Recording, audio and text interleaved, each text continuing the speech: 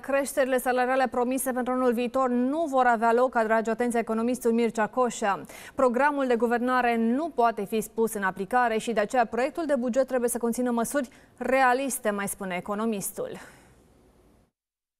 Remarcă un plus de realism la comisiile parlamentare pentru că au înțeles că totuși ar trebui să gândească mai bine până că se introduc astfel de măsuri pe care eu le-am numit exotice, nu, nu, nu prea sunt cunoscute, nu, nu, se, nu sunt văzute în lume.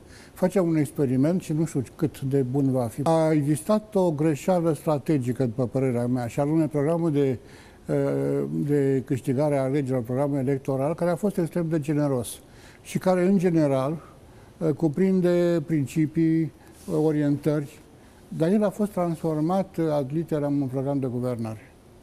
Deci nu poți să pleci de la început cu carul înaintea boilor. S-a promis o creștere în jur de 25%, ea nu va avea loc. Creșterea, așa cum vor să facă, a brutului, uh, nu va, nu va favoriza cu nimic pe angajat și pe ansamblu se creează o problemă foarte complicată.